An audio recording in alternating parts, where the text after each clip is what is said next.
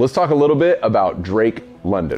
Now, everybody from USC knows who Drake is, everybody from the Pac 12, West Coast, all that stuff. But I feel like nationally, not enough people really actually understand that there's like this, I think, once every couple years type of talent and type of person, like the worker and the human that he is, entering the league. He's gonna get drafted super high. I know these teams know who he is. But I wanna just use this time to look under the hood to figure out who this Drake London guy is before he's a household name. And this is the thing he is not the first six-five wideout. He's certainly not the first superstar receiver to leave USC and go to the draft. But I think he is is the perfect combination of somebody who he's got all these unique physical talents, but then the person. I've been around wideouts my whole life. I've met all kinds of them. I've played with some Hall of Famers. I've been around a bunch of great guys. I've been around a bunch of busts too. But the type of person he is and his approach to the game, and then factor in this other thing. He's not the first wide receiver who used to play basketball, but he might be the best basketball player to ever enter the NFL draft as a wide receiver who's super smart and wants to understand not just the route he has on that play, but the concept, the quarterback's progression, and how coverage is going to dictate quarterback's progression. That is the key. When I see wide receivers who are asking me those questions, who want to understand it at that level, I see a guy who can play on any down at any spot on the field. So, how I ended up working with Drake as a quarterback coach for a wide receivers pro day. For the last few years, I've, I've helped out a bunch of pass catchers, receivers, running backs, and tight ends.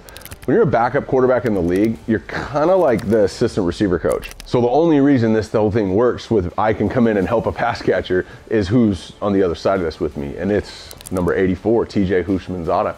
One of my all time favorite teammates, one of the low key, one of the smartest teammates I've ever been around. Uh, understanding everything on the field, off the field. And what I learned early on, he's an incredible teacher. You might see him on a podcast, you might see him on Fox, but you should see him on the field. And what I realized throughout this process is that him and I fundamentally believe the exact same things. We just explain them completely different.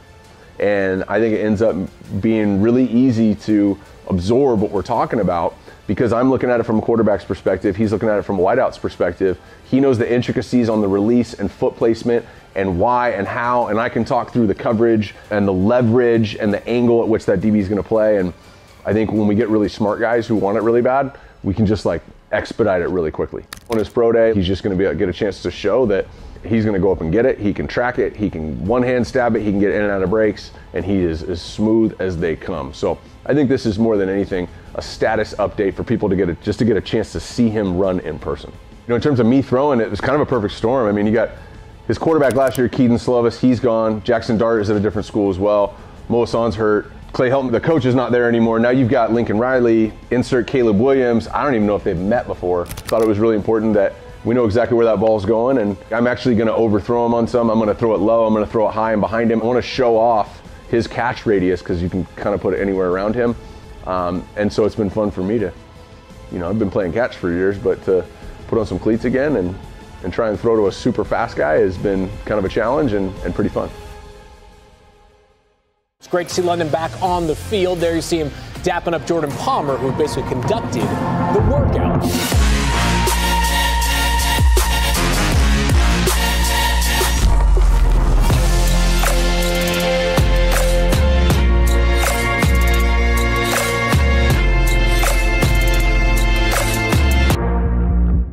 It's one thing that he can run after the catch, but that size he can put to use is so unique, makes him one of the most unstoppable players amongst the wide receivers in this year's class.